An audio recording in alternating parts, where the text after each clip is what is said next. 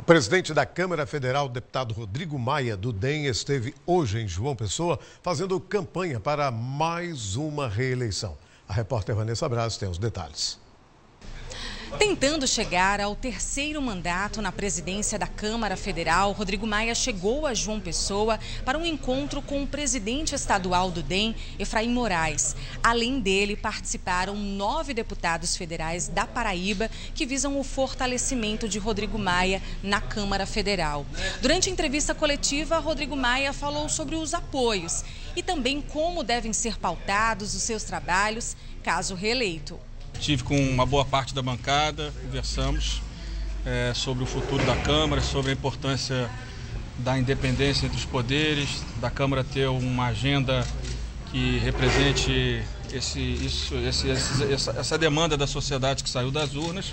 E também, claro, num diálogo permanente com os outros dois poderes, o Poder Executivo e o Poder Judiciário, onde a gente possa garantir o poder de legislar para o Parlamento né? E o governo encaminha a sua agenda, principalmente a agenda econômica, que eu acho que é uma demanda da sociedade que o Brasil volte a crescer e gerar empregos. Rodrigo Maia também falou sobre a relação com o presidente Jair Bolsonaro e sobre um bilhete que recebeu e que foi flagrado pelas câmeras. Uma relação de muito respeito, de equilíbrio, de garantia da independência entre os poderes, mas respeitando o, presidente eleito, né? na, na, no interesse das pautas do governo, veja, principalmente a pauta econômica. E o bilhete que o presidente me mostrou, mostrou para mim. Né? Não é isso?